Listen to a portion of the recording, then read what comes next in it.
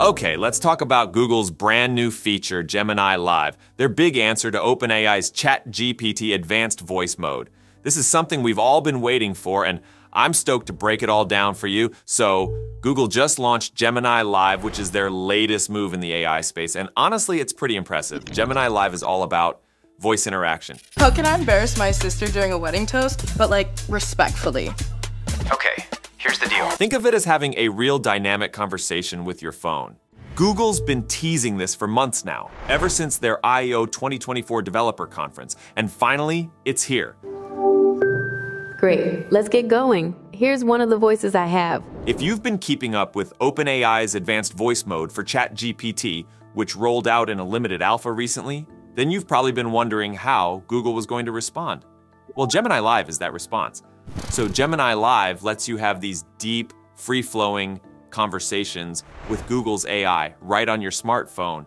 It's got this enhanced speech engine that makes the dialogue not just more realistic, but also emotionally expressive. Here's one of the voices I have, but there are more to choose from. Here's another voice I can use. You can pick me now and always make a change later in settings. So the AI can pick up on your tone and pace and adapt its responses accordingly. Hi, Gemini. How are you doing? Hi there. I'm doing well, thanks for asking. It's always nice to hear from someone.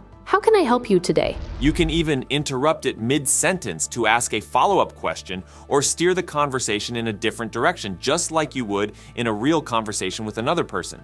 Google's really been pushing the idea that Gemini Live is hands-free too. You can keep talking even if your phone's locked or the app's in the background. This means you could be doing other things while still chatting with your AI. Multitasking to the max, right?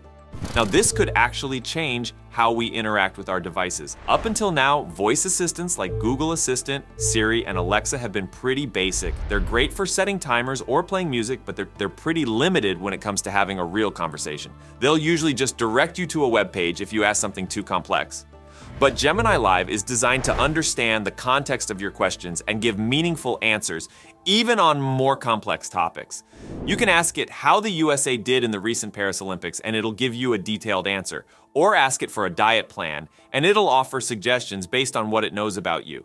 And here's another cool thing. The architecture behind Gemini Live, which is powered by the Gemini 1.5 Pro and Gemini 1.5 Flash models, has a super long context window. What that means is the AI can remember what you've been talking about for a long time, theoretically, for hours of conversation. This essentially allows for more coherent and in-depth discussions without the AI losing track of what you were originally talking about. I'm looking to run my first marathon and I really don't know where to start. What should I do? That's an awesome goal. Training for a marathon is a huge commitment, so let's get you set up for success. All right, let's talk about how you might actually use this in real life. Google gives this kind of funny example where you could use Gemini Live to rehearse for a job interview. I mean, it's a bit ironic, right? Practicing talking to an AI to prepare for talking to another AI hiring manager someday. But in all seriousness, it could actually be really helpful. The AI can give you tips on what to say, how to say it, and even suggest skills to highlight.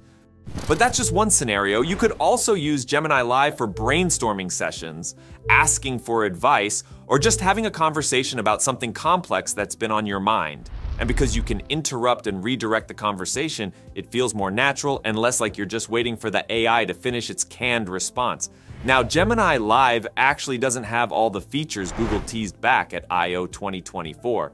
Remember when they showed off how Gemini could respond to images and videos you take with your phone's camera? Like you could snap a picture of a broken bike part and Gemini would tell you what it is and maybe even how to fix it.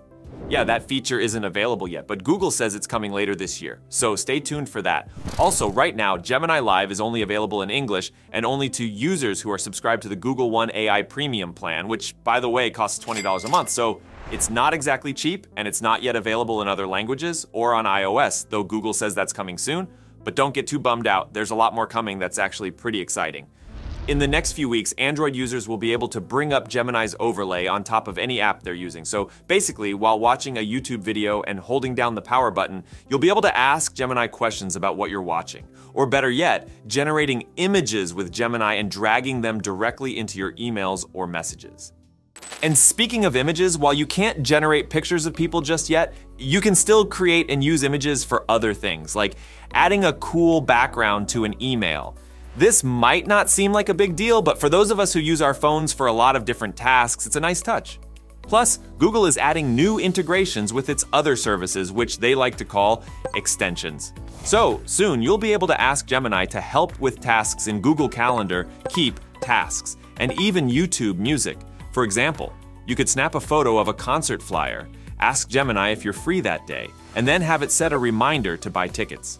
Or have it dig out an old recipe from your Gmail and add the ingredients to your Keep shopping list. Okay, so after hearing all this, you might be wondering if Gemini Live is worth it. From what I've seen and heard, it's definitely one of the most impressive AI features Google has rolled out so far.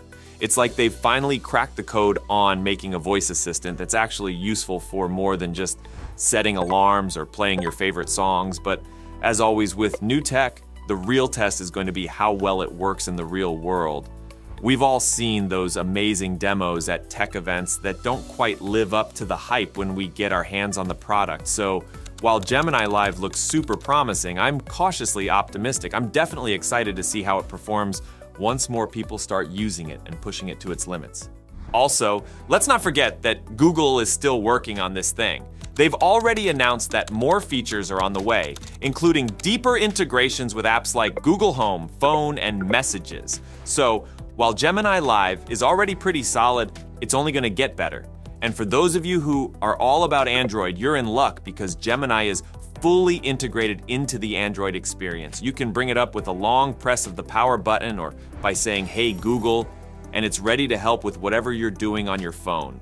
The idea is that Gemini is always there when you need it, whether you're trying to figure out what's on your screen or just need a quick answer to a random question. And honestly, I'm pretty excited to see where Google takes this next.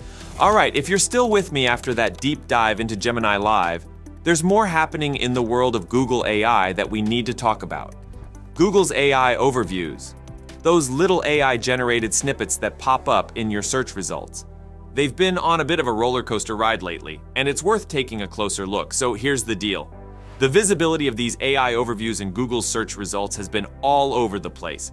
In July, they showed up in about 12% of searches, but then dropped back down to 7% by the end of the month. This kind of fluctuation isn't new. Back in May, they were visible in 15% of searches, so it's clear that Google's still figuring this out. Why does this matter? Well, for SEOs and content creators, it's a big deal. Google's AI overviews are supposed to give quick AI generated answers, but the fact that they keep changing shows that Google hasn't quite nailed down the format or the content yet. Interestingly, certain types of searches, like travel and entertainment, aren't triggering these AI overviews anymore. But on the flip side, they've ramped up for queries about salaries, complex technical terms, and long tail keywords. In short, Google's AI overviews are still a work in progress, and this volatility is something to watch, especially if you're in the SEO game or just curious about how AI is reshaping search as we know it. All right, let me know in the comments what you think about Gemini Live. Is it something you'd use, or do you think it's just another gimmick? And as always, if you liked this video, make sure to give it a thumbs up, subscribe to the channel, and hit that notification bell so you don't miss any of our future tech deep dives. Thanks for watching, and I'll catch you in the next one.